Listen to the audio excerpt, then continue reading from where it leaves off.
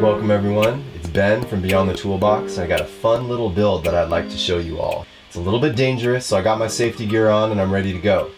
Now this project came about from one of the classes I actually taught earlier in the week. It was an engineering with Lego class and we built a dunk booth. And we were trying to find out some fun ways that we could hit that target and we came up with archery.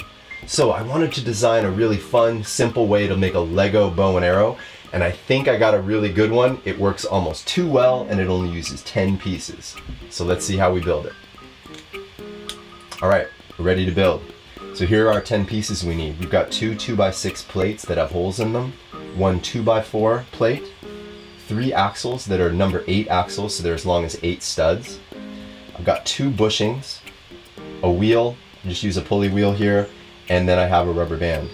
So what we're going to do is first we're going to take one of these two by six plates and take bushing and if you see on the bushing on one side there's kind of a bumpy edge to it, that allows you to wedge it in between the studs of that plate. So I'm going to do that on one side and on the other side.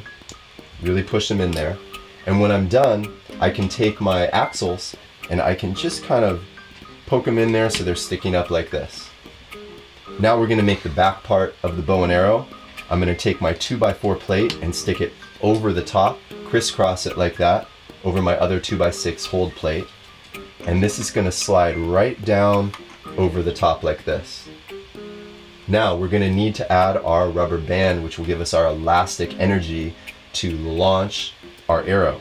So I'm gonna take my rubber band and put it around this plate like this, wrap it around the back, and then wrap it around this side as well. My rubber band is a little loose, but it should work fine. Now to launch, you're gonna hold it like this, pull back this plate, and you can see you get that spring action, and when you let go, it's gonna launch your arrow. Now, it's very important you add some kind of a safety on your axle. I'm very serious about this. And we're gonna put this right in here like this. You can see at the bottom, it rests in that hold plate, but this plate right here, it, it pushes the arrow out. So when I pull it back like this and let go, it really works. So I know I'm being a little bit silly with my helmet and my goggles here, but I'm very serious about the safety with this one. It worked a little better than I expected. So when you pull it back like this, it really launches pretty strong. So please make sure you're safe. Make sure that you put a little safety on it and never, ever, ever aim this at people. See if you can come up with some fun games and some fun targets like we did in our class with our dunk booth. Have a wonderful weekend and look forward to seeing you next time. Bye.